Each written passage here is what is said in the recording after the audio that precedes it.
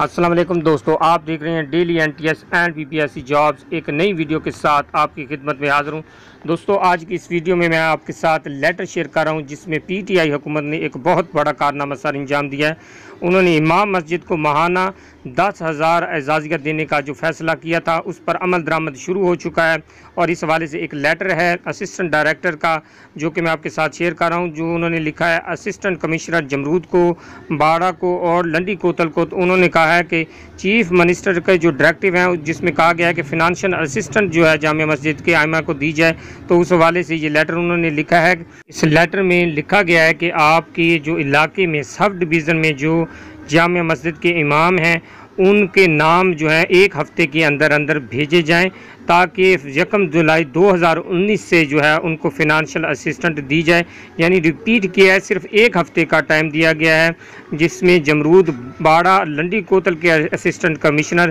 شامل ہیں۔ ان کو کہا گیا ہے کہ اپنے اپنے علاقے کے جو آئمہ کرام ہیں، ان کے نام مسجد میں جو جس مسجد میں جمعہ ہوتا ہے، ان کے نام لازمی بھیجیں ایک ہفتے کے اندر اندر تاکہ یکم جولائی دو ہزار انیس سے دس ہزار روپے کا جو اعزازیہ ان کو دیا جائے، یہ تھی تازہ ترین امید ہے آپ لوگوں کو ضرور پسند آئے گی اور یہ بہت اچھا جو فیصلہ ہے، یہ بھی آپ لوگوں کو پسند آئے گا۔